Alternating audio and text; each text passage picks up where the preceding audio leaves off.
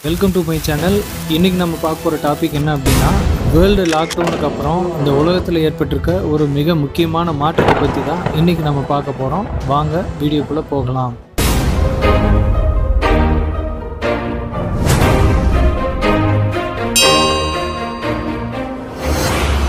முதலில் சீன நாட்டில் ஊகான் மாநிலத்தில் ஏற்பட்ட இந்த கரோனா தொற்றானது பின்பு உலகளவில் பரவி இத்தாலி இங்கிலாந்து ஜெர்மன் மற்றும் எல்லா நாடுகளிலும் இந்த நோய் தொற்று பரவ ஆரம்பித்தது.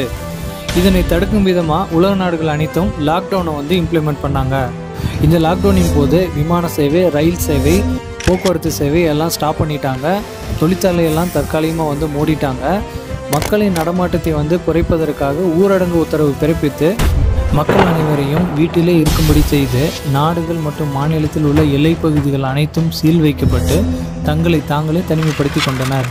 இந்த டோட்டல் லாக்டவுனுக்கு அப்புறம் என்ன நடந்தது அப்படின்னா தொழிற்சாலைகள் வந்து இயங்காதனால அது மூலமாக ஏற்படுற காற்று சத்தம் மண் கதிரியக்கம் வெப்பம் நீர் மாசுபடுதல் வந்து முற்றிலுமாக வந்து குறைஞ்சிருக்கு அப்படின்னே சொல்கிறாங்க வாகன போக்குவரத்து வந்து நிறுத்தப்பட்டதால் அதிலிருந்து வெளியில் வரும் hydrocarbon carbon monoxide carbon dioxide EM benzene போன்ற நச்சு வேதிப்பொருட்கள் வந்து காற்றில் கலப்பது அறுபது சதம் அளவுக்கு வந்து குறைந்துள்ளது அப்படின்னே சொல்கிறாங்க அது மட்டும் இல்லாமல் மனித நடமாட்டம் முற்றிலும் நிறுத்தப்பட்ட நிலையில் குப்பை மற்றும் பிளாஸ்டிக் கழிவின் எண்ணிக்கை குறைந்த அளவே தான் காணப்படுதான்.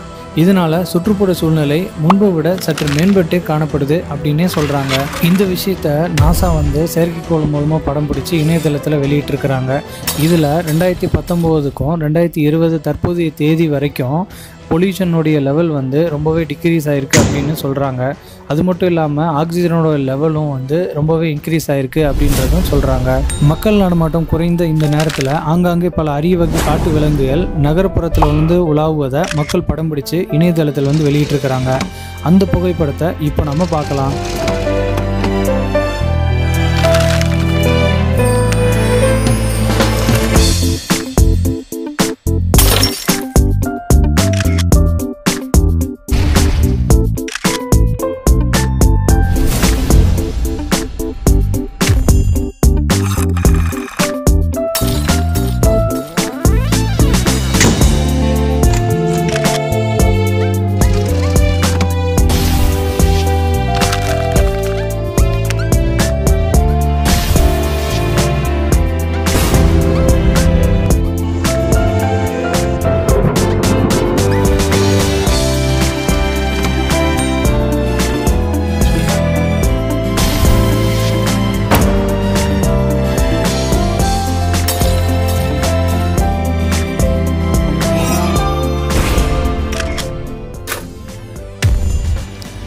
இந்த புகைப்படத்தில் உள்ள விலங்குகள் வந்து இந்த உலகம் எங்களுக்கும் சொந்தம்தான் அப்படின்னு சொல்கிற மாதிரி நாம் எடுத்துக்கலாம்.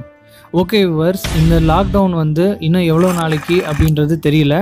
ஸோ அது வரைக்கும் இந்த சுத்தமான காற்றை சுவாசித்து பயன்பட்டுக்கோங்க ஏன்னா இதில் ஆக்சிஜனுடைய லெவல் அதிகமாக இருக்கிறதுனால நம்ம உடம்புக்கு ரொம்பவே ஆரோக்கியமாக இருக்கும்.